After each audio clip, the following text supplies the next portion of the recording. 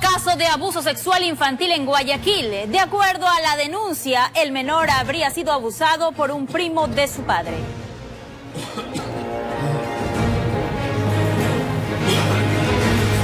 Madre de joven con problemas de adicción a las drogas pide ayuda para que pueda recibir un tratamiento. Conozca este drama en nuestro segmento Tú eliges.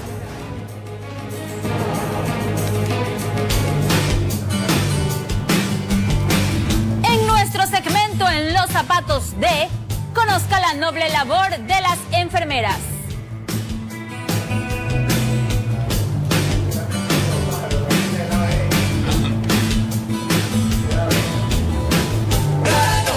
Amigos televidentes, muy buenos días, bienvenidos, estamos listos para la información. En este día jueves 26 de octubre del 2017 iniciamos de inmediato. Hoy el aire no huele a caramelo y nadie ha vendido nada, todo, salchicha, mondongo, dripita, periódicos, zapateros, betuneros, todos, todos están parados. Todos. No vendieron nada, Barcelona perdió y cuando pierde Barcelona todo negocio se daña. Un Barcelona desconocido, realmente desconocido. Qué pena. Destrozado, porque no es que el gremio fue superior, fue superior porque Barcelona se- lo permitió. Yo creo que nunca vieron los videos de ese equipo. Yo creo que se dedicaron a ver Pocahontas y no a ver los videos de estos jugadores. ¿Cómo es posible que Banguera arme una barrera así, sabiendo que ese es un pateador, pero de los, de los bravos de la película, como se dice. Yo me acuerdo cuando jugaba el Chanfle Muñoz, que ustedes son niños todavía. El productor también es un niño todavía, no lo ha haber visto jugar al Chanfle Muñoz. Cuando los arqueros veían que iba a patear el Chanfle Muñoz, le hacían barrera de a 6, de a 5, de a 6, de a 7. ¿Saben por qué? Porque sabían que tenía un shoot terrible y que era de- curviado de paso. O sea que era medio gol. Cuando ya Muñoz ponía la pelota era medio gol.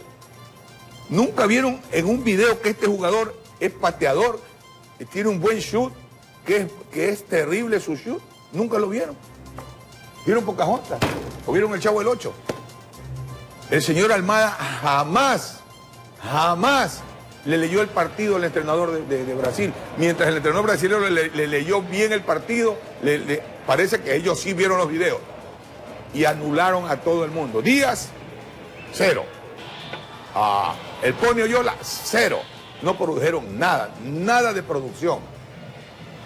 Ah, el arquero, armando mal esa barrera que permite el segundo gol. Y así. Y el resto, pues, ¿saben quién fue el mejor jugador para mí? El mejor, perdón, de la cancha, para mí, el árbitro. Muy buen arbitraje. Y por los brasileños, pues lógicamente, lógicamente este Luan, que es un, un monstruo, pero nunca le pusieron una marca férrea. Ese es el tiro, mira, mira. Mira por donde se le va la pelota, ese es el tiro libre. Mira por donde le entra la pelota. Mira donde le entra la pelota. ¿Sí ven? Eso es barrera. El que arma la barrera es el que responde. Para mí, oiga, yo jugué pelota, esto no lógicamente a esos niveles, pero perdóneme, el arquero, mire, ese señor, mira cómo le pega. Ese señor de ahí es famoso justamente por sus shoots, por sus disparos al arco, por sus tiros libres. Los narradores de- de- del- partido decían, este es peligroso, este hace así, así.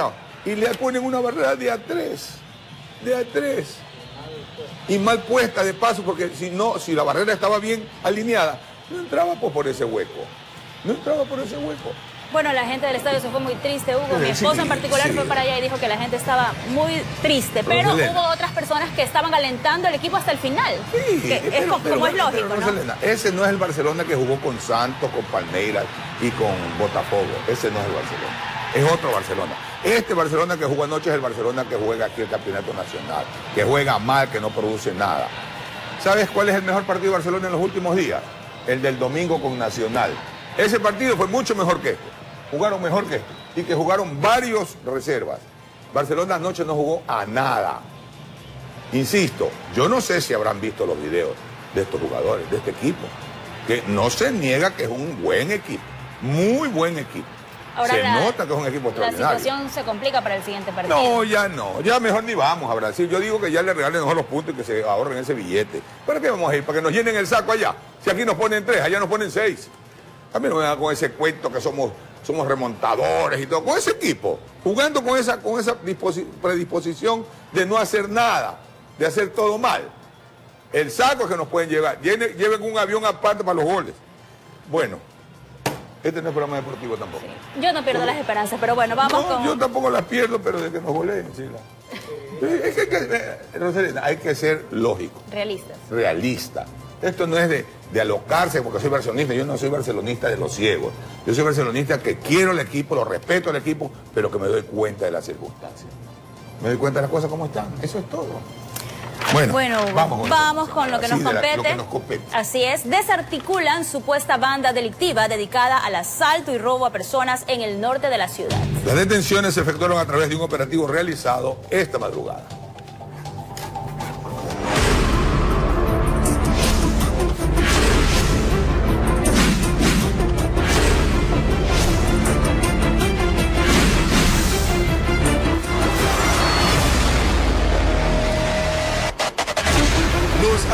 Registrados en los últimos meses en ciudadelas como Urdesa, Miraflores y Kennedy motivaron a la Policía Nacional a realizar una exhaustiva investigación, labor que la madrugada de este jueves arrojó sus primeros frutos. Esto obedece a una investigación que se ha venido realizando a lo largo de los últimos tres meses en torno a una organización criminal que se dedicaba al robo a personas bajo la modalidad de asalto a mano armada. Se parqueaban junto al vehículo de las víctimas y procedían a, mediante amenazas con arma de fuego a sustraer todas sus pertenencias.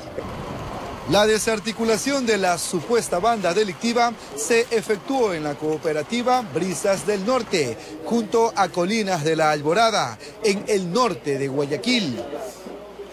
Los agentes policiales también retuvieron el vehículo en el que supuestamente se movilizaban los sujetos. Se logró evidenciar mediante cámaras de seguridad eh, el modus operandi, el vehículo y, y a los sospechosos. Tenemos versiones, personas que reconocen a estas personas, a los sospechosos. Quizás no está relacionada esta organización con quienes cometieron el asesinato hace un mes en eh, esa información no le podría indicar en este momento, es muy prematuro establecer que en efecto existe una conexidad entre estas personas y aquellos que cometieron eh, lo que me acaba de mencionar, el asesinato de Urdes. La policía se encuentra tras la pista de un tercer implicado que en esta ocasión no se encontraba en su domicilio. Informó Jorge Salazar. Un sujeto fue detenido por portar una cartuchera entre sus pertenencias. La captura se llevó a cabo en un populoso sector del noroeste de Guayaquil. Caminaba en actitud sospechosa por la avenida Modesto Luque, a la altura de la cooperativa Paraíso de la Flor, con una cartuchera entre sus pertenencias. Se presume que el individuo pretendía cometer algún tipo de asalto. Que anotar la presencia policial adopta una actitud inusual y evasiva de control. ¿Qué quiere decir eso? Que anotar la presencia policial intentó darse la fuga, por lo que se procedió inmediatamente a localizarlo e interceptarlo. Al momento de realizar el respectivo registro, se procede a encontrar dentro de una maleta un arma artesanal, una cartuchera. Los habitantes del sector aseguran que la delincuencia ha incrementado en la zona por lo que piden más presencia policial. La delincuencia está al rojo vivo. No tienen compasión con el ciudadano que está trabajando. Más a la mujer, a la mujer la, la maltratan. En su defensa, el sospechoso dijo que no sabía que tenía un arma de fuego en su mochila. Este argumento no convenció a los agentes policiales, por lo que lo trasladaron a la fiscalía para que sea investigado. Los operativos son continuos y son a diario. Esto es para aumentar la percepción de seguridad y reducir los índices delincuenciales en el sector. ¿De pronto tiene antecedentes eh, se le verificó, no tiene ningún antecedente. No tiene ningún antecedente, simplemente manifiesta que ha estado, en el, estado ahí esperando, no se que tenía una, mochila con un arma. La Fiscalía, pues, obviamente, eh, el momento en que se realice la audiencia de formulación de cargos, iniciará instrucción fiscal en contra de este ciudadano de ser hallado culpable, el sospechoso enfrentaría una pena de hasta cinco años de prisión por el delito de porte ilegal de armas de fuego. Informó Jorge Salazar. Y un accidente de tránsito se registró en la avenida 25 de julio al sur de Guayaquil. Afortunadamente no hubo heridos. Al parecer, el irrespeto a las señales de tránsito sería la causa del choque. Agentes de la ATM llegaron para, a ese lugar para eh, tomar el procedimiento respectivo. El accidente se registró a la altura de la avenida 25 de julio, en donde, según las primeras versiones, tanto de testigos como de autoridades de tránsito, el irrespeto al semáforo que se encontraba en rojo habría sido el causante del suceso. Dos vehículos grandes se habrían impactado. Eh, veo la luz en verde y paso, paso normal, vengo despacio. Confiado. Y confiado porque estoy en verde y viene, al ver que viene la metrovía embalada, vengo y freno. Pero ya no me cogieron los frenos, estoy cargado, freno cargado no coge el carro. El señor viene, mire la frenada que pega. Salgo y le, siento que viene en frena y lo freno. Porque si no hubiese frenado, yo, yo no estuviera aquí. Aseguran las autoridades que no se registraron heridos. Sin embargo, ambos choferes fueron retenidos para investigaciones. Bueno, está la metrovía y un camioncito de dos toneladas. Es un choque lateral perpendicular. Eh, así es acierta, no se sabe quién tiene, digamos, la culpa en este sentido.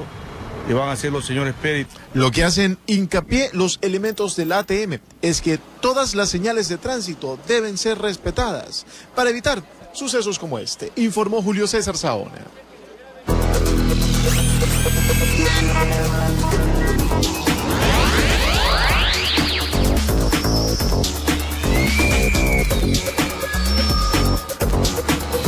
Bueno, de inmediato nuestro satélite en funcionamiento para conectarnos. Con Jorge. Jorge, Salazar está listo para la información. Adelante, Jorge, ¿dónde Buenos estás? Días, Jorge. Buen día. ¿Qué tal, Hugo, Roselena y amigo? Muy buenos días. Les informamos que los guayaquileños ahora cuentan con una nueva alternativa para divertirse en este feriado venidero del 2 y 3 de noviembre. Se trata de Safari Park una área de recreación, de diversión, ubicada en el Malecón 2000 Simón Bolívar. Y como ven, en este lugar existen 29 juegos de diferentes tipos para jóvenes, adolescentes y niños. Como estamos observando, es un nuevo lugar para quienes aún no se han decidido qué lugares visitar durante este feriado, puedan venir y recrearse junto a sus familiares. Para conocer más al respecto vamos a dialogar inmediatamente con María Luisa Barrios, vocera de la Fundación Malecón 2000. ¿Qué tal, María Luisa? Buenos días. Buenos días. Cuéntanos, ¿por qué los guayaquileños y personas de otros lugares tienen que venir a Safari Zone? Bueno, porque es un lugar de entretenimiento familiar donde van a disfrutar eh, de varios tipos de, de juegos, de video, eh, donde van a poder compartir con su familia aquí en el Malecón 2000. Bueno, eh, días y horarios de atención. Bueno, de lunes a domingo, de lunes a viernes va a ser desde las 9 de la mañana hasta las 9 de la noche y eh, los sábados, domingos y feriados también desde las 9 de la mañana hasta las 9 de la noche. Así que... Cuéntanos brevemente las características de los juegos, las temáticas y cómo las personas pueden acceder a ellos. Bueno, hay diferentes tipos de juegos, hay juegos de carreras, hay juegos incluso con hologramas. Eh, vamos a tener un área eh, de, de juegos para niños más chiquitos de 0 a 5 años, que es un área de eh, un poquito más suave, digamos, el área soft que se llama. Eh, vamos a tener también, eh, vamos a tener, bueno, diferentes tipos de juegos donde los niños pueden divertirse. Por ahí observo un pequeño patio de comidas. Sí, van a haber dos pequeños bares, dos bares, donde vamos a tener diferentes tipos de, diferentes tipos de comida, vamos a tener desde pizzas, hot dogs, salchipapas, bueno, todas las variedades que a los niños les gustan y a la familia también. Y lo nuevo de este lugar, de este safari, que no lo tienen los otros safaris, es que vamos a tener un área de premios eh, por jugar en los juegos eh, de niños. Vamos a tener eh, premios para ellos. Hay más atractivos. Más adelante nos los da a conocer, por favor. Y esta área está ubicada precisamente en Malecón y Villamil, en esta parte del Malecón Simón Bolívar. Por favor, están cordialmente invitados, compañeros, para que vengan con sus niños. Más adelante, más información al respecto. Un abrazo. Qué bonito, Gracias, qué interesante. Muy buena idea eso de poner en el malecón. Otro safari, Salado, sí, en el Malecón del Salado hay uno, súper divertido Bueno. también. Por lo menos para divertirse y llevar a los, Sanamente. a los más pequeños a la diversión. Jorge, gracias. Volveremos a conversar contigo más adelante. Ahora vamos con más información desde estudio. Claro que sí, un hombre fue detenido acusado de acosar sexualmente a una estudiante en una parada de la Metrovía en Guayaquil. Pero oigan esto, la madre de la menor fue quien logró neutralizar a este morboso y luego, ayudada por un guardia de seguridad, lo entregó a la policía.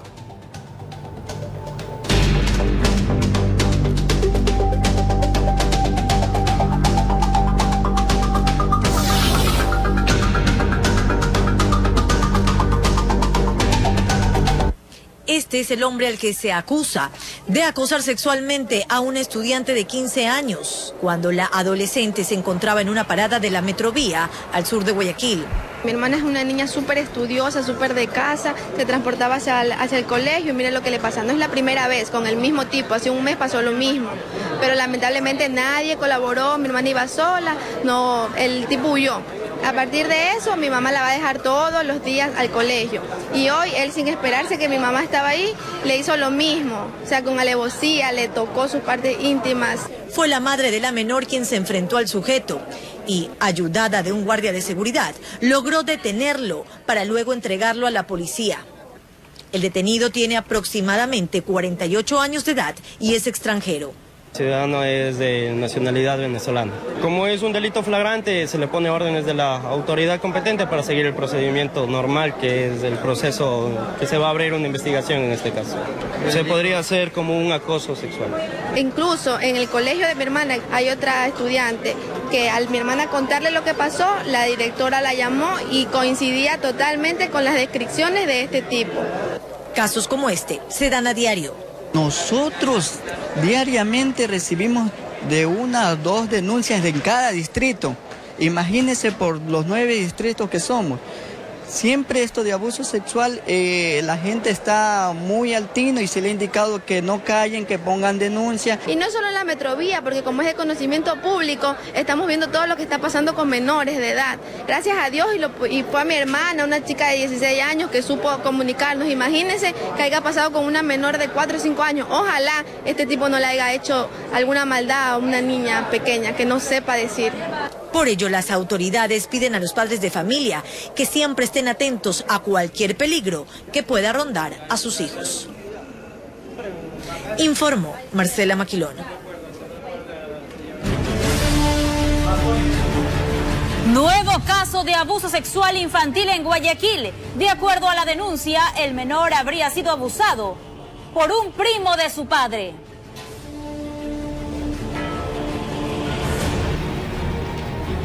Madre de un joven con problemas de adicción a las drogas pide ayuda para que pueda recibir un tratamiento.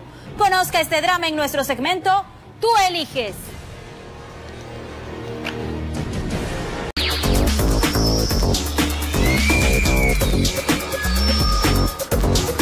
Muy bien, y salimos de estudio, esta vez para conectarnos con Charlie Pisa, que está listo para informarnos desde el sitio en el que se encuentra. Charlie, buenos días. Adelante. Muchas gracias, Hugo. Nos encontramos en la cooperativa Carlos Castro 2 en el Guasmo Central, en el sur de Guayaquil. Un barrio que parece muy tranquilo, como que si no pasara nada. 6 de la mañana o 5 de la, de la madrugada, cuando está amaneciendo, esto es sumamente peligroso. Aquí hay moradores que se quejan por la inseguridad de sujetos que llegan de diferentes sectores en motocicletas a delinquir. Están armados y traen cuchillos pistolas, revólveres y comienzan a despojar de las pertenencias a las personas que se dirigen hacia sus trabajos y las madres que llevan hasta los niños a las escuelas y diferentes establecimientos educativos de este sector del sur de Guayaquil. Si nuestro productor nos ayuda con un video que tenemos ya preparado en el que ustedes ven en imágenes en este momento, ese video ocurrió a las 5 o 6 de la mañana. Tenemos aquí al señor que ustedes van a ver, si no, nos ayuda nuestro productor,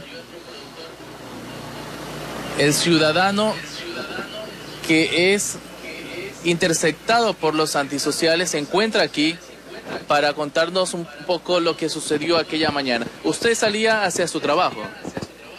No, yo salía, a comprar el lunch de los bebés para la escuela y en ese acto me percaté cuando dieron la vuelta a ellos y ya me enteré que era robo, entonces salí corriendo por ese aspecto. ¿Eran cuatro sujetos en dos motocicletas? En dos, en dos motocicletas eran cuatro, uno se baja y uno me muestra el arma. Entonces yo percatado salí corriendo mejor de todos lados y tiro el celular adentro de la tienda. Y se fueron porque salieron otras vendas y ya estaban llegando en la mañana ya. ¿Y usted cómo se percata? Porque ellos eh, comienzan a, eh, rodar, porque ellos no ingresan a interceptarlo, sino que tratan de asustarlo y para eso usted corre, ¿no? ellos primero pasan, entonces yo me percato es cuando se dan la vuelta, cuando ya me quedan viendo y me van sacando el arma, por eso yo salgo corriendo, porque me percaté que ya era un robo eh, definitivamente. ¿Insultaron, amenazaron? Sí, que iba a pagar, que cualquier rato iba a pagar, me dijeron esas palabras que usaron. ¿Y a pie de su casa? Aquí en la esquina nomás de la tienda. Yo vivo más a una, como tres cuadras vivo yo.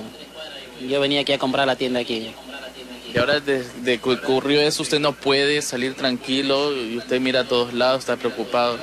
Claro, hay que estar pendiente de todo. Ahora uno ya queda psicoseado. Por cada moto que uno pase, tiene que estar mirando por todos lados ahorita. Ahora no se sabe ni quién es o quién, no, quién es el asaltante o no, porque ahora todo el mundo en el mismo soplado en la mañana también.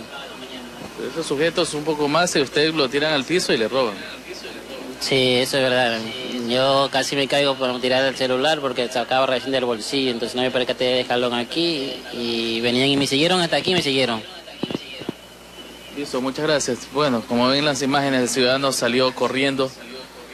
Afortunadamente no fue asaltado, pero eso se vive aquí todos los días, caballeros. Sí, claro. Sí, yo todo en la mañana y en la noche. En la mañana y en la noche. Aquí no se puede andar, no se puede andar ni, ni en la mañana ni en la noche porque créanme lo que aquí muchachos o pulmones rondan. Ya las criaturas no pueden ni salir ni a jugar por el miedo de que tienen de que te pueden hacer cualquier cosa. Muchas gracias, caballero. Aquí hay una vía principal a pocas cuadras y es la vía de escape para los delincuentes. Claro, pues esa vía que tenemos acá es la exclusa y la otra que tenemos acá es la Unión de Bananeros. por eso a ambos lados los pillos corren hacia allá o si no a la Unión de Bananeros Cinco Esquinas, por ahí se tienen su, salida para poder salir hacia el sur, más allá de la playita. Porque estos ladrones son del lado del sur, por acá, por la playita que se viene para acá. Ahora, ¿usted han pedido ayuda a la Policía Nacional quizás para que investigue bien de dónde vienen estos sujetos y que logren capturarlos? Claro, eso queremos, aunque sea por medio, ya que, bueno, la policía ronda, pero cuando la policía pasa, al ratito pasa el pillo y va a robar. Y la verdad que el, policía sí hace su trabajo, sino que lamentablemente el pillo está más, más activo que, que el policía. Pasa el policía, al ratito roba. Pero lo que queremos aquí bueno, vamos a asegurar una cámara, algo poner aquí encima de la tienda, esta tienda es pesa grande porque puede apuntar para los cinco extremos, cuatro extremos, hacia el lado derecho, al izquierdo, como tanto para la, la como para la Unión de Bananeros, para que tenga todo este lado resguardado por medio de una cámara, eso es lo que queremos aquí.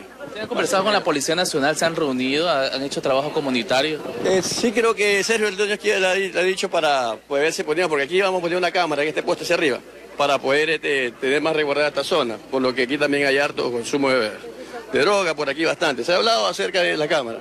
Listo, muchas gracias. Bueno, están esperando una de las cámaras. Y aquí continuamos con el ciudadano que fue, casi lo asaltan ese día. Exactamente dónde fue. ¿Usted avanzaba por qué lado y dónde casi lo intersectan? Yo venía del lado, de, a ver, de allá, de la parte de acá, del video no se ve, que cerca de la tienda, casi a media, media cuarita de la tienda, entre una farmacia que es ahí. Ahí fue cuando ellos se percatan y me saltan en esa esquina ahí que ellos salieron de una por el callejón del lado, del lado derecho y ahí vinieron y viraron. Por eso me percaté de todos los jugadores. Así como el ciudadano que se encuentra en ese momento aquí acompañándonos, hay muchas personas que esperan trabajo inmediato de la Policía Nacional. Algunos han instalado cámaras de vigilancia para tratar de identificar a esos delincuentes y esperan de que así muchos se unan y haya trabajo inmediato de la Policía Nacional para poder capturar a estos antisociales que madrugan para robarle a las personas que salen a comprar a la tienda para el desayuno de los niños que van a las escuelas. Rosalena.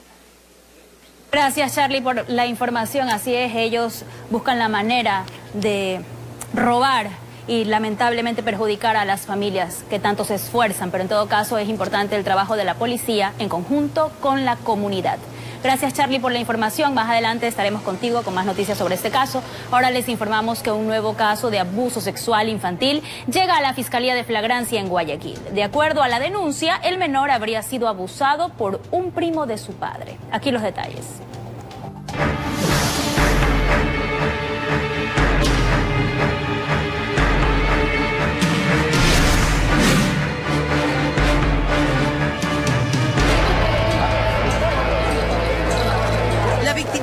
16 años. Según la denuncia puesta por la madre, desde el mes de diciembre el menor venía siendo abusado sexualmente por un familiar. Esto cuando ella salía a trabajar. Yo dejaba al bebé con, con el papá y, el papá lo ha dejado encargado de, de un primo de él y ese individuo ha estado abusando de mi hijo. Porque el niño me contó que le había dicho que no le diga a nadie porque si no le pegaba. ¿Este tipo de abuso desde cuándo se viene dando, señor? Hace un año creo. Los llantos constantes del niño y su extraño comportamiento alertaron a la madre y a la profesora. La profesora de la escuela fue que me dijo que venga a poner la denuncia nomás porque, o sea, yo quería hacer así, solamente que me ayude la profesora con lo que era la psicología y nada más, pero ella me dijo que no podíamos hacer eso, que tenía que denunciar. Una vez puesta la denuncia en la Fiscalía de Flagrancia, se ordenó un examen médico legal al niño. Y el médico tratante ha determinado que no existe lesiones en la parte anal, pero ha referido al niño que el, el primo le ha prácticamente le ha violado porque el momento en que se le introduce el miembro viril en la boca ya es violación. La pena por este delito va de 19 a 22 años de reclusión. Más agravante, al tratarse de un familiar, podría llegar hasta 26 años. Y la fiscalía lo que va a hacer es iniciar una investigación a fin de dar con el paradero a este individuo y proceder a su aprehensión. Según datos de esta unidad fiscal del norte de Guayaquil, durante las últimas semanas se han incrementado las denuncias de este tipo. El llamado a los padres de familia es a reforzar el cuidado de sus hijos y a no callar. Sí, lamentablemente los menores siendo indefensos, eh, los padres deberían preocuparse más, estar al cuidado de ellos, no dejarlos solos y, y también que se animen a poner la denuncia. La Fiscalía va a poner todo su esfuerzo conjuntamente con la policía a fin de dar con el paradero de estas personas inescrupulosas. Informó Marcela Maquilón. Las recomendaciones no faltan y Marcela lo está ratificando. Poner mucho cuidado. Recordemos algo, que siempre lo están diciendo las personas entendidas en la materia, psicólogos, psiquiatras, conocedores del tema. El abuso sexual, el ataque sexual siempre, o por lo menos en un 90% o algo más del 90%, viene de las personas más cercanas a la víctima.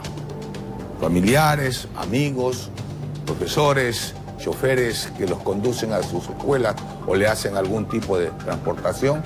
Es decir, la persona de confianza, porque justamente el degenerado se aprovecha de la confianza brindada, tanto por los padres como por su víctima, que ya la comienza a estudiar desde el momento mismo en que la toma como tal. Pues estos son degenerados, depravados. Y hay que cuidarse y cuidar a los hijos de ese tipo de actitud que tienen estos miserables.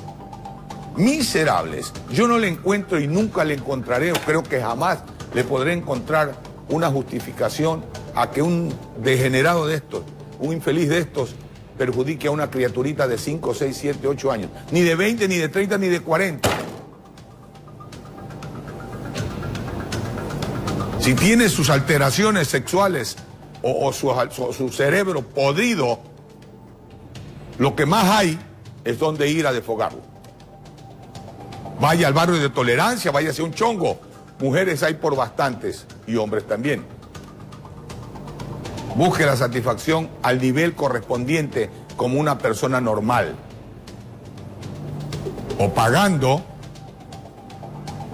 o por lo menos haciéndolo como lo hace todo, todo ser humano, a través de un contacto normal, no degeneradamente, violentando a una criaturita miserable. ¿Qué puede sentir un miserable de estos perjudicando a una criaturita? Por eso es que las condenas deben de ser severas y definitivamente doblarlas si es necesario. Tenemos que irnos a una pausa. Roselena. Así es, nos vamos a una pausa, les digo lo que se viene enseguida.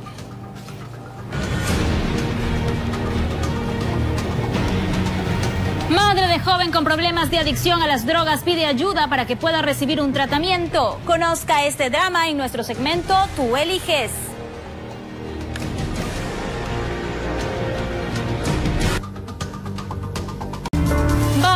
Nuestro recorre camino. José Morales está listo con la información desde exteriores. Adelante, José.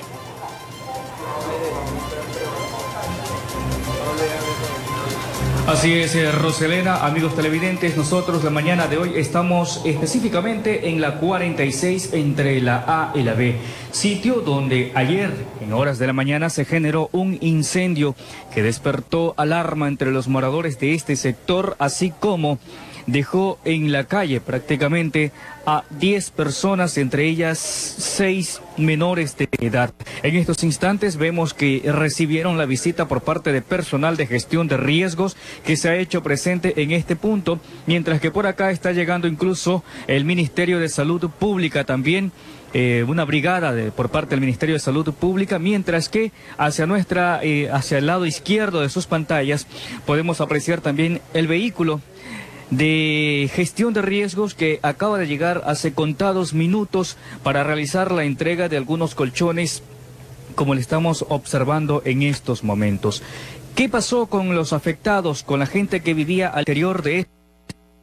Vamos a tratar de ingresar y que ustedes puedan conocer de cerca en qué condiciones quedó este, este lugar que se vio afectado por un voraz incendio que la mañana de este miércoles consumió todo lo que había en su interior. Ahí están ingresando ya los colchones, mi estimada amiga, eh, lamentando mucho la situación por la cual ustedes están atravesando. Hoy están recibiendo esta ayuda que para ustedes es bienvenida. Como nos decía, lo que cargan puesto es lo que el vecindario les ha regalado hasta el momento. Así es. Estamos totalmente en la calle, o sea, con todo quemado. Y gracias a Dios que ustedes también nos están ayudando, les agradecemos. Y nada más puedo decir, o sea, no tengo ahorita, estoy nerviosa. Solicitando la ayuda de los amigos televidentes. Sí, así es. Todo el que pueda ayudarme, pues creo que hay un número, ¿no? Claro, Ya. Aquí tenemos el número, si nos pueden colaborar. A ver, acá nuestra amiga, ayúdenos un momento. Aquí tenemos para que usted pueda contactarse el número 0960 11 93 49. Me reitera nombre de quién, el número. Lorena Orellana. Lorena Orellana. Este número para que ustedes puedan contactarse, puedan comunicarse 0960 11 93 49. Ese es el contacto al cual ustedes pueden hacer llegar sus donaciones. Vean ustedes, continúa allí haciéndose eh, presente hasta el momento la ayuda por parte de gestión de riesgo. Están colaborando con colchones, están colaborando con sábanas e incluso con vajillas por ahí. Escucho que también están colaborando en estos instantes. Ahora, algo que debemos señalar, y acompáñenme por acá. Miren ustedes, lo que tenemos aquí. Esto es parte de lo que ellos con mucho esfuerzo habían logrado reunir dinero y habían empezado a comprar ya este tipo de elementos porque tenían pensado colocar un negocio aquí. En vista de que eh, estaban desempleados, pensaron en emprender, pensaron en montar un negocio entre hermanas, entre familiares, y ya habían comprado algunos elementos, algunas herramientas, máquinas, para de pronto montar un restaurante, un comedor aquí, hasta un refrigerador que estaba nuevo por este lado, se quedó o se consumió, acá está, miren, el congelador que recién lo habían comprado. Mi estimada amiga, venga, acompáñenos para que nos indique esta situación. Ustedes tenían esa aspiración, ese anhelo de montar un negocio. Mi hermana había recién sacado ese congelador a crédito para ponernos un negocio, por lo que nos encontramos desempleadas. Nos íbamos a poner un negocito ahí afuera de la casa, pero las llamas destrozaron todo, completamente todo, cama, ropa, todo todo se contaminó eh, con el incendio. Mi hermana había comprado este, un refrigerador de esos parados, este, había comprado algunas cositas, vajillas, cosas así, y todo se le quemó. Nos quedamos sin nada en la calle. O sea, se quedaron sin la casa y sin el negocio que pretendían ustedes impulsar. Así es, nos quedamos sin, sin nada. Este, lamentablemente se perdió todo lo material, pero gracias a Dios este, todos estamos con bien, todos estamos con vida y eso es lo más importante. Ahora, aquí en esta vivienda, según nos indican ustedes, habían seis menores de edad, todos estudiantes. Sí. ¿Qué pasó con ellos hoy día? ¿Acudieron a la escuela? No, no pudieron ir a la escuela. Están de una vecina que no- amablemente nos ofreció su casa también para dormir ahí. Este, mi- mi- mis niños todos se les quemaron los uniformes por lo que había lavado y estaban tendidos en el cordel. Entonces la llama acabó con todo. Uniformes, maletas, zapatos de lona, todo. Hoy ya no asistieron a clase. Ok, este era un terreno que pertenecía a la misma familia. Ustedes, como parte de una familia muy unida, por cierto, habían dividido este terreno y existían acá tres casas, si no me equivoco. Sí, este, esta estaba dividida en dos, la que está ahí y la mía que está en lo último. Sí, este, la que se incendió fue la de madera, La de, la de madera es donde inició el fuego, donde inició el fuego, sí. o sea, en la parte de atrás de, de este terreno. A la parte de atrás y ahí se pasó adelante y siguió contaminando para atrás. En esos momentos, usted me decía, estaba dormida cuando de pronto despierte, observa que la llama ya estaba alta, ya tratando de rodearlos a ustedes. ¿Cuál fue su reacción en esos instantes? Mi reacción fue sacar a mi familia primero porque mi hermano, eh, mi hermano estaba en todo el medio del incendio y él estaba dormido por lo que él, es- él es consumidor y había, se había amanecido toda la noche, entonces no sentía nada.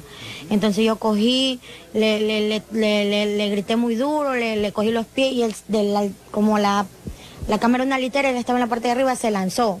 Se lanzó porque la llama ya no le dio otra opción. Y ahí fui a sacar mi nieto, mi, mi, mi, mi familia. Ahora mi hijo se quemó por sacar los tanques de gas para que no se haga peor. ¿Cuántos cilindros sacó? él? Él sacó dos cilindros. Ok, perfecto. Amigos, hemos escuchado y hemos observado cuál es la realidad por la cual están atravesando la familia afectada en este incendio. Reiteramos el número 0960 11 93 49 a nombre de Lorena Arellano, Orellana, con quien ustedes pueden contactarse para hacer llegar su ayuda. Ahora retornamos a estudio. Hugo, continúan ustedes con el desarrollo de más noticias. Adelante. Gracias, José. Esperamos que la ayuda llegue para esas personas que están necesitando este momento. Información desde estudio dice que un sujeto fue detenido acusado de intentar asaltar con un arma de fuego a transeúntes en la ciudad de La Urdesa, en Guayaquil. Julio César Sabona con los detalles.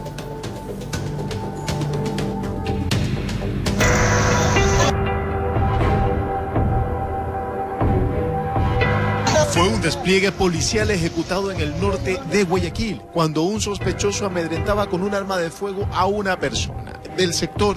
De ahí que se dio la voz de alerta a las autoridades de seguridad, los cuales mediante un operativo lograron la captura del sujeto.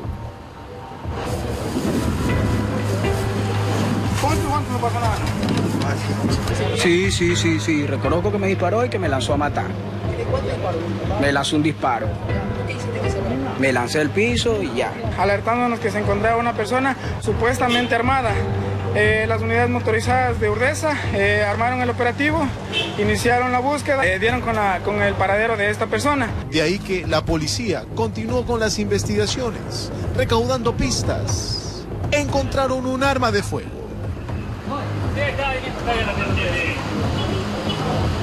Efectivamente está la persona perjudicada. La persona perjudicada eh, recibió una amenaza con una arma de fuego.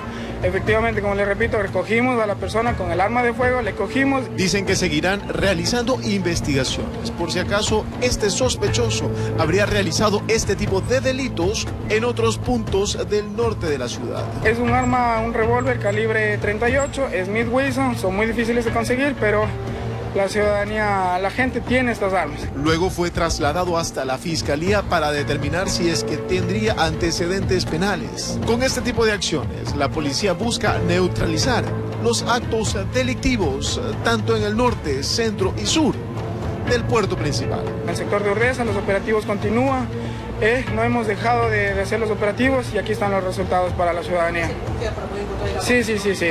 Efectivamente, no, el ciudadano la botó el arma, dejó botando el arma, salió corriendo en precipitada carrera y nosotros pudimos detener. Informó Julio César Saona. En nuestro segmento, en los zapatos de, conozca la noble labor de las enfermeras. Yo no quiero vivir en la calle.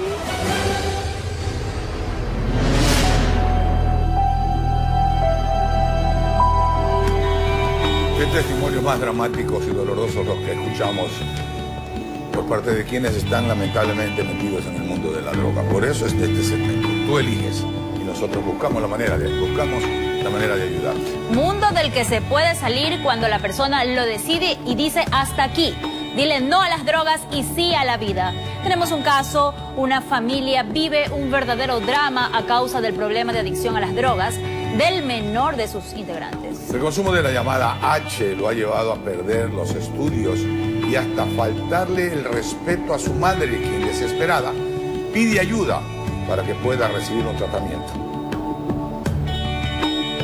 Yo conocí la H cuando, cuando fui a estudiar al colegio. Eres agresivo, a veces incluso una vez cuando lo tuvimos encadenado, él me alzó la mano, me... Permanece encadenado en su casa.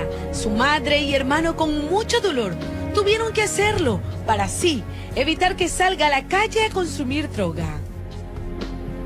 Yo iba al baño y él le digo, ¿qué estás haciendo? Me dice, mami, me estoy bañando. Y yo fui a mirarlo y lo encontré que estaba consumiendo, entiendo, por la nariz. sí. Él ha cogido cuchillo a amenazarnos que lo suelten, si no, o si no, él no sabe qué hace, él se quiere matar.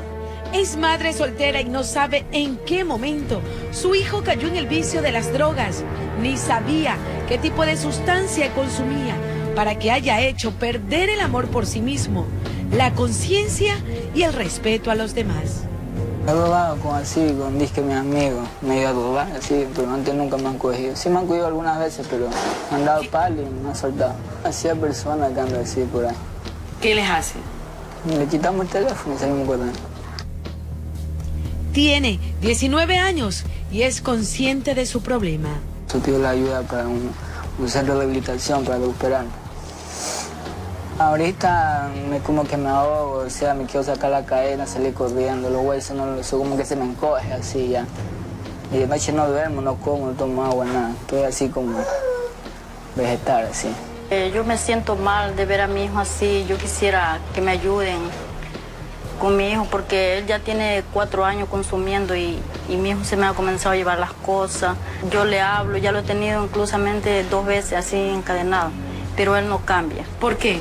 ¿Traías? ¿Cómo hacías todo eso? No sé, ya ahorita último que ya estaba bien perdido, ya, ya está caretuco, ya, ya estaba bien en la calle, ya no venía aquí a la casa, ya no comía, no me bañaba. Ya uno cuando está con eso en la cabeza no piensa nada, solo piensa estar en las calles. Y yo a través de este canal y por parte del ministerio que nos ayuden con mi hermano, que ya no soporta el dolor aquí, está encadenado, pero no, no sabemos qué hacer. Las esperanzas no han muerto. Están convencidos de que con la mano de Dios y por supuesto la ayuda profesional, todo volverá a ser como antes. Ver a Jordan recuperado y con ganas de vivir. Informó Pilar Vera.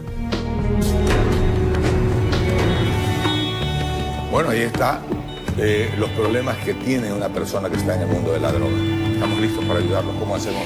Por supuesto, pueden contactarse con nosotros a los números que enseguida saldrán en sus pantallas, al convencional 373-1240 y las extensiones 4221, 4229 o al celular a través del WhatsApp 096-958-5650. Twitter, arroba RTS-bajo la noticia con el hashtag tú eliges. La decisión está en tus manos. Por lo tanto, tú eliges. Y habrá respuesta.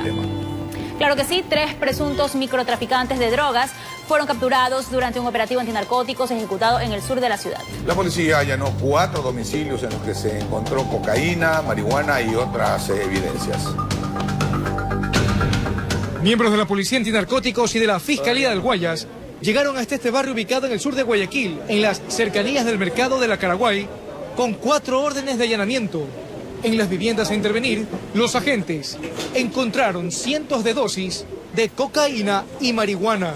Tenemos alrededor de 150 dosis de cocaína y 100 gramos de marihuana. Tenían caletas eh, en las paredes y obviamente con el apoyo de los canes nosotros podemos eh, evidenciar que en esos lugares se encontraba la sustancia. Durante el operativo se detuvo a tres personas, una de ellas, alias Chivolo, quien lideraría una banda de microtraficantes a la que la policía ya le venía haciendo seguimiento desde hace algunas semanas atrás. Es el día de la organización, eh, tiene boleta de, de. Ahí preparaban la sustancia, eh, organizaban las dosis y tenían provistas para la distribución a quienes venían a, a, a proveerse en estos lugares. De acuerdo a la cantidad, podría llegarse a establecer inclusive una pena de 7 a 10 años o de 10 a 13 años. Preliminarmente se conoció que los microtraficantes operaban en el barrio Cuba, las cercanías del mercado Caraguay y otros sectores del sur de la urbe. Se hizo efectiva tres boletas de detención, se hizo efectivo las cuatro órdenes de allanamiento y se ha encontrado sustancias dentro de los domicilios incrustados o encaletados en diferentes partes de las paredes, piso, eh, en tres domicilios. Los detenidos y evidencias fueron trasladados hasta la unidad de flagrancia, donde quedaron a disposición de las autoridades correspondientes y a la espera de la audiencia de formulación de cargos, informó Ítalo Ruiz.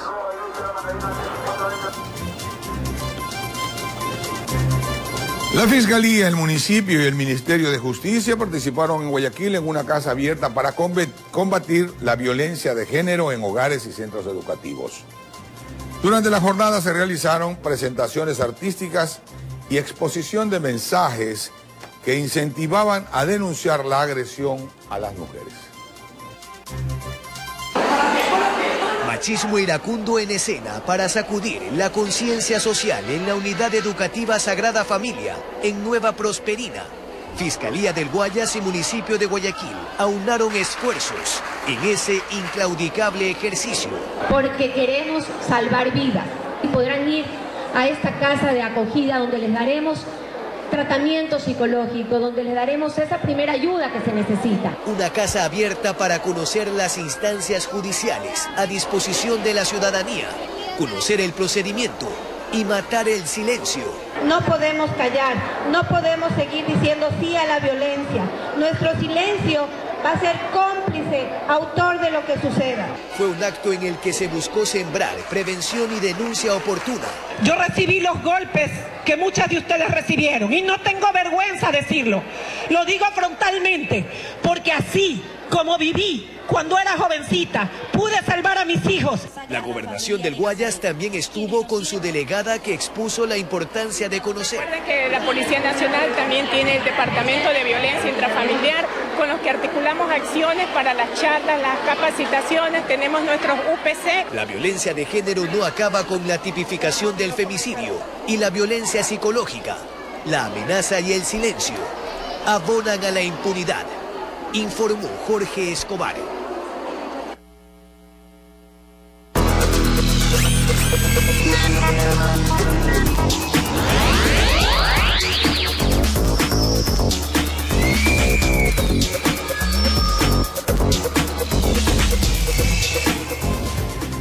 Con Jorge Salazar, está listo con información desde exteriores. Adelante Jorge, buen día. ¿Qué otras novedades tienes por allá?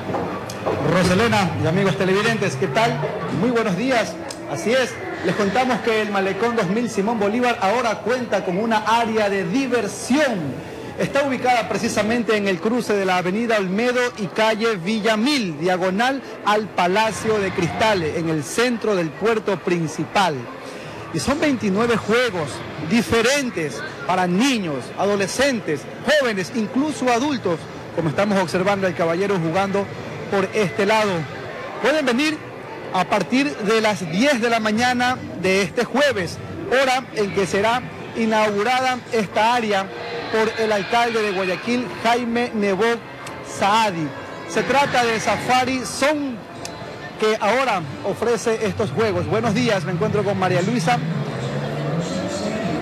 Berríos, Berri, Barrios, perdóname. Cuéntanos los atractivos de Safari Son. Eh, bueno, Safari Zone es un lugar con juegos de video eh, que son asequibles para toda la familia, con precios también bastante asequibles. Eh, un lugar bastante acogedor donde vas a poder venir a disfrutar, eh, a comerte algo, a ver el río también, porque tenemos una linda vista. Así que los invitamos a todos a disfrutar de Safari Zone en el Malecón 2000. Malecón ya cuenta con un safari, Safari Park, si no me equivoco. Eh, ¿Cuál es la diferencia de este nuevo safari? Bueno, este Safari, eh, Safari Zone, el concepto eh, que lo manejamos en ambos malecones es que es un lugar con juegos de video más que nada. El Safari Park, en cambio, es un lugar con juegos eh, un poquito más de exteriores, tipo montaña rusa, tipo carrusel, tipo trencito, o sea, son eh, juegos un poquito más eh, más fuertes, digamos, que el tema de- del juego de video, ¿no? Esto es un lugar como un arcade. Esa es la diferencia. Acompáñame por acá, por favor. Eh, también hay un pequeño patio de comidas, hay un área para los más pequeñitos. Cuéntanos al respecto. Hay un área especial para niños de 0 a 5 años, que es un área súper suave, eh, con donde los chicos van a tener una, una piscina de pelotas y lugares donde pueden balancearse con toda seguridad. Eh, obviamente para que este tipo, estos niños de tan pequeños no se, no se golpeen. Y la novedad que tenemos aquí en Safari Zone de Malecón 2000, que no está en ninguno de los otros safaris, es que por jugar en cualquiera de nuestros, de nuestros juegos, para la redundancia, vas a tener eh, acceso a premios, porque tus tarjetas, la tarjeta de Safari acumula bonos con los cuales vas a poder canjear premios. Para que los televidentes presten mucha atención. Días y horarios de atención y cuánto oscila cada juego más o menos. Eh, bueno, oscila entre los desde 50 centavos, juegos desde 50 centavos hasta 89 centavos. Eh, también vamos a tener eh, horarios desde las 9 de la mañana hasta las 10 de la noche, perdón, 9 de la mañana hasta las 9 de la noche, todos los días, de lunes a domingo. Me informaron que hay proyectos, Así es. un área grande de comidas, eh, una montaña rusa cerca de la perla. Cuéntanos al respecto. Eh, bueno, sí, estos son, esto de aquí es parte de un proyecto integral de renovación del centro comercial de Safari Zone. Eh, y luego vamos a tener el próximo año, en el 2018, la inauguración de otro parque en el área de que está frente a la Perla, en la explanada de la Perla, un parque de diversiones ya un poquito más extremo, con más adrenalina, como te comentaba, va a haber una montaña rusa, eh, vamos a tener eh, juegos como péndulo, o sea, ya un- juegos un poquito más movidos, ¿no? Un poquito más para adultos, un poquito más para chicos más adolescentes. En el tema gastronómico, en la parte de arriba de esta área. Bueno, eso es el proyecto Mercado del Río, que va a estar eh, encima de una de las galerías del centro comercial. Este proyecto fue lanzado en el mes de julio por el municipio de Guayaquil, eh, el cual se va a desarrollar, eh, se va a inaugurar el próximo año en el mes de octubre, eh, donde vamos a tener varias variedad de gastronomía de todas las partes del Ecuador. María Luisa Barrios, vocera de la Fundación Malecón 2000, ya dio a conocer estos cambios que se evidencian acá en el Malecón 2000 en beneficio de los guayaquileños, de los turistas de otros lugares que vienen a visitar la Perla del Pacífico. Están cordialmente invitados aquí, el área para los más pequeñitos, eh, lugar muy acolchonado para que ellos puedan jugar de una manera más segura. Hugo, Roselena y amigos, buenos días. Buenos días, Jorge. También tenemos el dato de 20 mil, ya 20 mil vueltas ha dado la Noria, la rueda moscovita, y ha hecho divertir a 780 y pico mil de personas. Mira tú, cómo van las cosas en el turismo de Guayaquil. 20 mil vueltas en un año se ha dado la Noria. Y más turistas llegan cada vez a nuestra ciudad que está, asimismo, conforme avanza el tiempo, su belleza se incrementa. Cada vez está mejor Guayaquil. Jorge, muchas gracias. ¿ah? Vámonos a una pausa.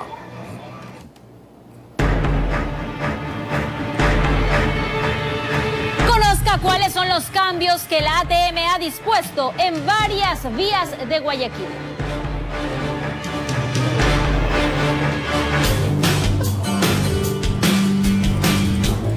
Alcalde Jaime Nebot da detalles sobre las obras de dragado al canal de acceso a los puertos marítimos estatales y privados y sobre la aerovía.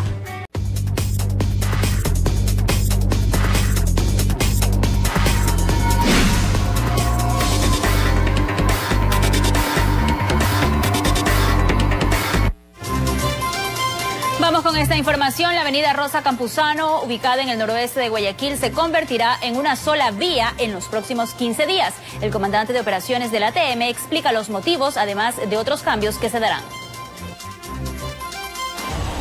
En la avenida Rosa Campuzano, que es de dos vías, diariamente se registra congestionamiento vehicular, sobre todo en las horas pico. Este es uno de los principales motivos por los que a partir del próximo 4 de noviembre será unidireccional en el sentido sur-norte de la avenida Juan Tancamarengo a la Felipe Peso. ¿Por qué se lo hace?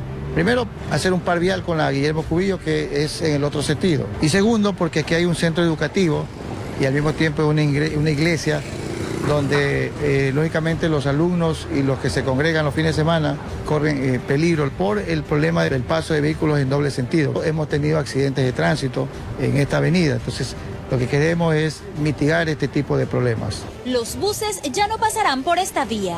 Esto lo tenemos planificado hacerlo de aquí a 15 días más o menos, ya hacer el cambio de sentido porque tenemos que regular también las tres líneas de buses que pasan por aquí, que son la 132, la 114 y la 75A, que la vamos a reubicar.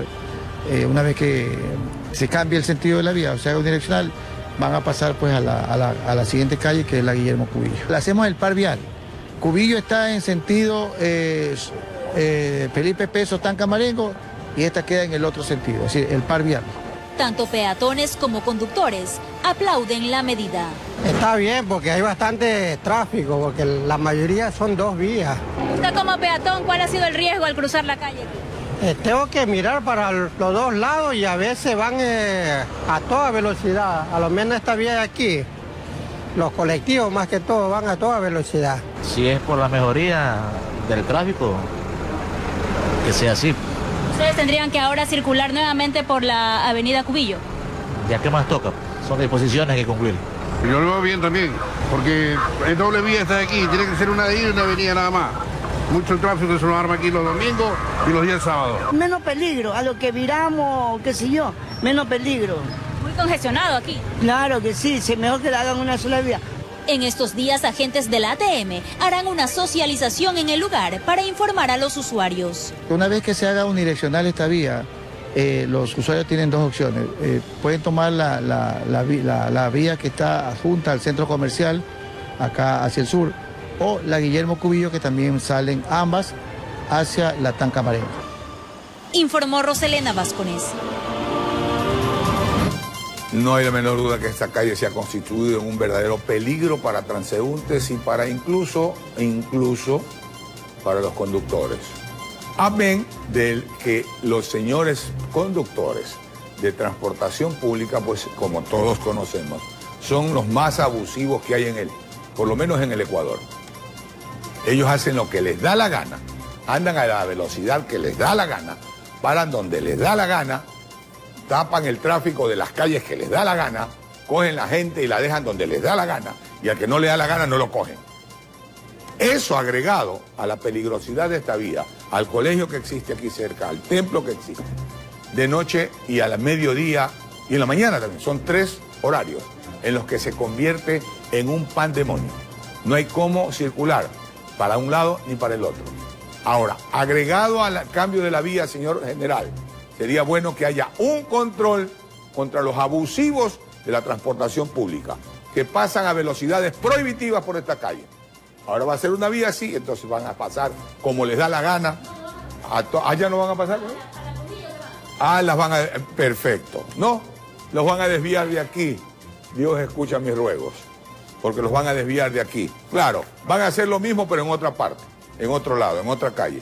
Porque que se compongan, creo que, creo que se desaparece el mundo primero antes que ellos empiecen a ser gente que respeta al usuario, que es el que les da de comer en definitiva. Vamos con otra información. Dos importantes proyectos para Guayaquil ya están en marcha. Hablamos de dos mega obras. El dragado al canal de acceso a los puertos marítimos estatales y privados y de la aerovía. El alcalde Jaime Nebot da detalles al respecto.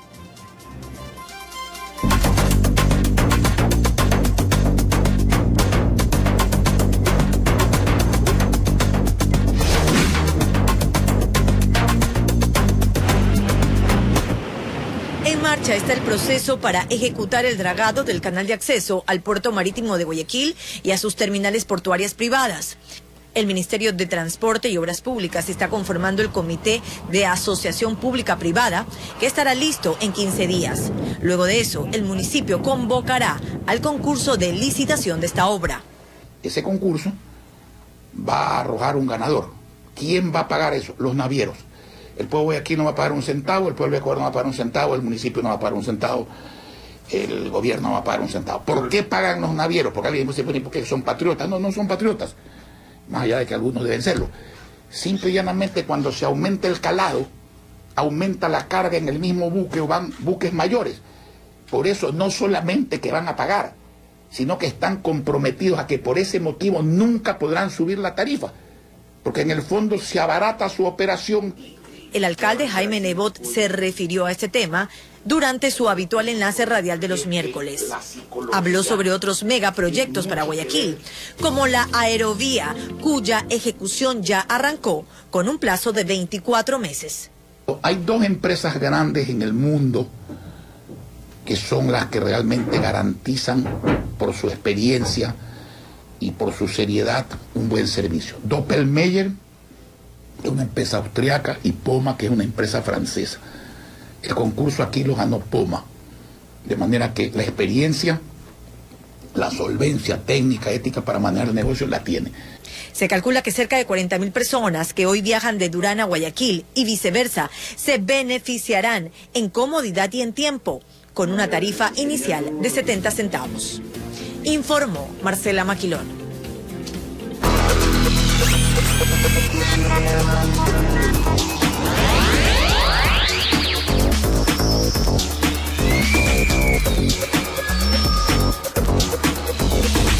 Vamos a enlazarnos exteriores con Charlie Pisa, quien tiene novedades. Adelante, Charlie, buen día. Muchas gracias, Rosalena. Aquí conversando con los moradores de la cooperativa Carlos Castro 2 en el sur de Guayaquil, en el Guasmo Central, nos hemos enterado de más de 20 historias de robos en esa calle. Una de las peatonales, no es principal, pero que es muy utilizada por sujetos que avanzan en motocicletas desde las 5 de la mañana para delinquir. Se le llevan desde el pasaje a los estudiantes que salen a, a las instituciones educativas también a las personas que llegan a trabajar en algunas eh, microempresas que hay cerca, también las despojan de carteras, relojes, aretes, teléfonos celulares. Pero hace pocos días ocurrió aquí un incidente que afortunadamente no fue asaltado a un ciudadano, si nos ayuda nuestro productor.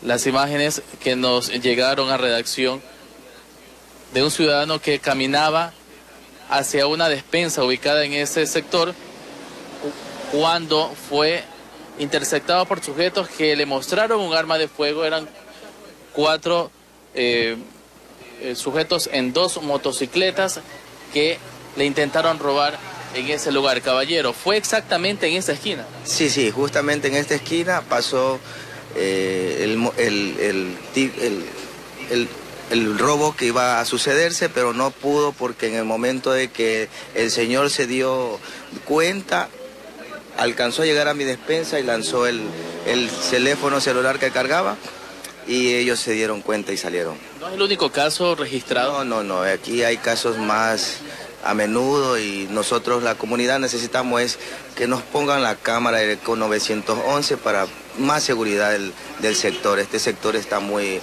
eh, peligroso en él. Claro, pero también personas que se dedican a consumir drogas aquí en las veredas y ustedes esperan que hayan haya más control de la Policía Nacional y trate de devolverle la tranquilidad a ese barrio. Claro que sí, porque es peligrosísimo. O sea, a las chicas en general, la gente que es adicta a eso le, les afecta, pues, porque ellas pasan caminando y ellos vienen como son mujeres indefensas, les atacan, más desde las mujeres, a las chicas de colegio y a las chicas que vienen a trabajar también. Lo que ocurrió aquella mañana eh, al ciudadano eh, le mostraron un arma de fuego y así mismo aquí les han robado a muchas personas. Claro que sí, hace como unos seis meses también una chica igual botó el teléfono porque igual le, atacaron. Ella botó el teléfono y mucha gente coja, coja la cartera o la mochila porque ya lo vienen siguiendo. Sí. Muchas gracias.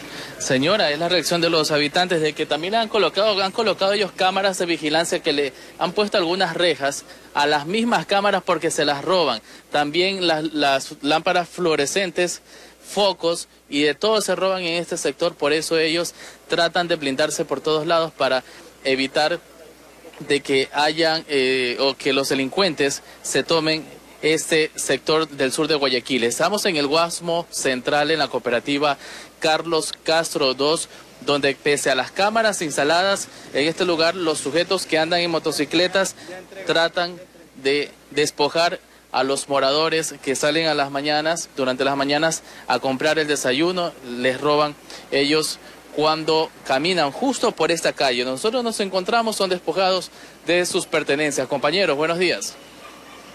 Buenos días, Charlie. Gracias, por, la información. por la información. Vamos a la pausa, les digo lo que se viene enseguida. otro segmento en Los Zapatos de Conozca la noble labor de las enfermeras. Al volver todo esto. Un hombre fue detenido en delito flagrante cuando se sustraía una cámara de fotorradar instalada en la avenida Narcisa de Jesús en Guayaquil. La rápida acción policial evitó que el sujeto logre su objetivo.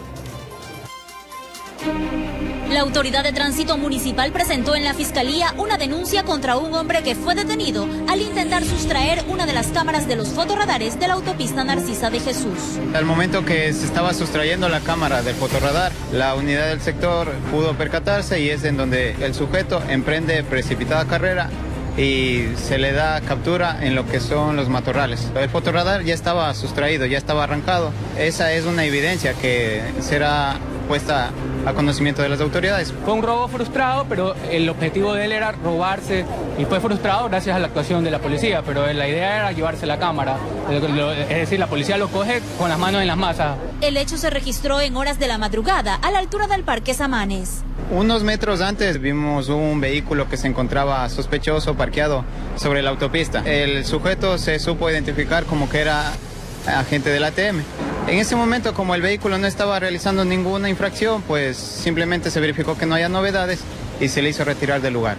Más adelante es lo que ya se, nos pudimos dar cuenta de que se estaban sustrayendo la cámara de fotorradar.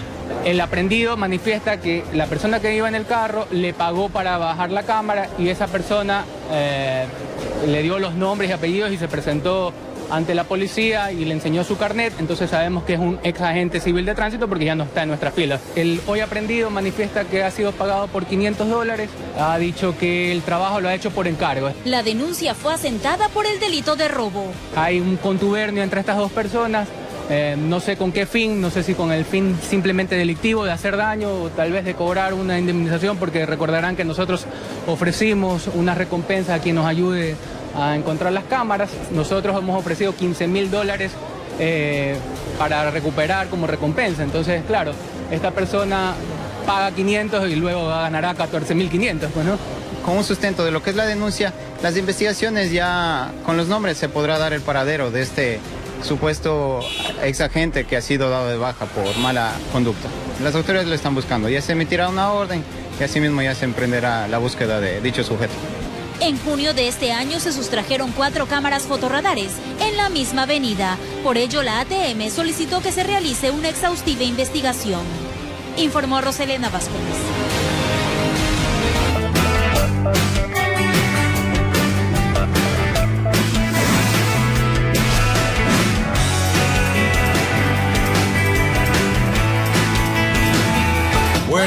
Aquí está esta Existe, información para Hugo, ustedes. sí. una labor que requiere de mucha paciencia, esfuerzo y de una altísima dosis de humanidad para cuidar y atender a las personas enfermas. Para conocer más de esta loable labor, de este trabajo, nuestra reportera Pilar Vera se puso en los zapatos de una enfermera. Días, hoy inicia mi día en los zapatos de una enfermera. Más que una profesión, Es una vocación, es una vocación.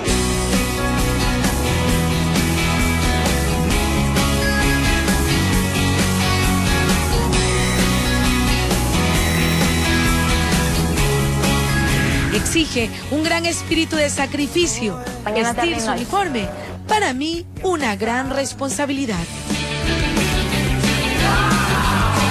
Nos vamos al área. ¿A qué área? Pero, Al área de observación 1. ya que vamos a ver ahí como para yo ya... ya Pacientes adultos. En la cama 2. Ahí voy apuntando. Paciente de 28 años, Entriago Delgado Gabriela, ingresó con diagnóstico de hiponatremia. En antes hizo 60 de glicemia, se le pasó un bolo de dextrosa al 10%, 100 cc. Está con medicación, está con Cipro cada 12, 400, está pasando la primera carga. Además de eso tiene eh, un, un plan 84 ml hora, cloruro de sodio con dos ampollas de soletrol sodio. Eso para que le pidan dieta. ¿Qué, qué, Mira, aquí llega la paciente, colocamos los sueros, se le abren las llaves. ¿Sí ya cogió las notas de, la, de lo que dijo la licenciada? O sea, de un 100%, un 10%. Sé que tiene 28 años, entrego Gabriela. mm, Un ¿Y el plan 80. diagnóstico? hiponatremia. Ya, ese, ese cuando usted viene el paciente, eso es lo más importante. ¿no? Claro, ¿Cuál es el diagnóstico? Y de ahí el diagnóstico. Un plan 88, ¿qué? Un plan 84, Un plan 84 ml hora.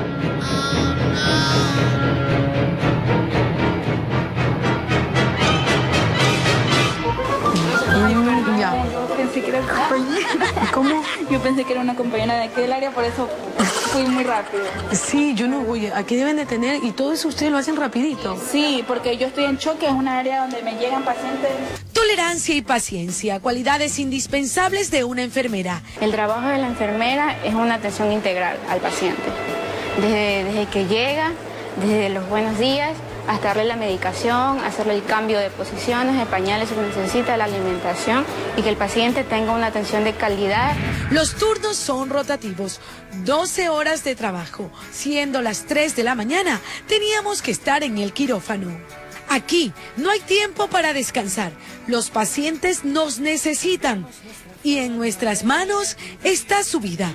Vi sangre, pero me tocó ser fuerte, respirar y colaborar, como lo hacen las enfermeras. Ya, lo pone allá. No, no, Ya. Déjalo aquí en la mesa. Ahí está. Ya. Y no toques ya. Deme. Pinza. Pinzas. Por ejemplo, yo no soy de acá, yo soy de Simón Bolívar y nosotros tenemos que viajar para poder venir acá a trabajar. Y todas las personas que viven lejos hacemos, hacemos sacrificio y venimos acá con la mejor actitud para poderle dar la mejor atención al paciente. La satisfacción de las enfermeras es la gratitud que se recibe de parte de los pacientes y familiares. Don Pedro, le estoy haciendo con mucho amor como si fuera mi padre. ¿Oyó?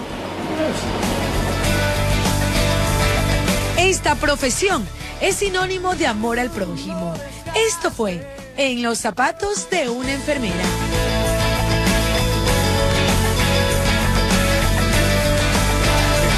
Profesión supuesto. muy, muy noble, ¿no? Qué lindas se contratan a ponen los ellas, pacientes. las enfermeras reales, ponen es vocación. para, por la asepsia, por el Claro. cuidado.